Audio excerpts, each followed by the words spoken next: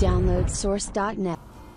Hello YouTube, it's Jasher here from Download Source. I've got another guide for you today for setting color profiles on Windows 10 and it's pretty much made for people with any sort of color blindness and they cover three different types. So to enable the mode, go to Start menu and click on Settings. You can get to settings from anywhere, Start menu is the easiest.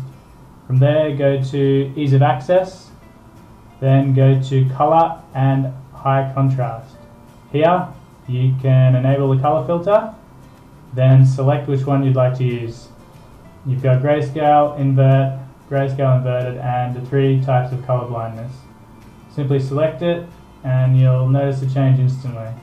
If you flick through them with the scroll wheel on your mouse, you can also see the changes take place. If you want to disable it, simply click off. You've also got a quick Windows key control plus C shortcut and you can toggle it on and off. Really, really easy. That's pretty much it.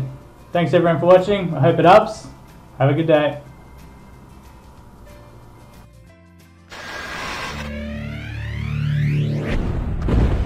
DownloadSource.net.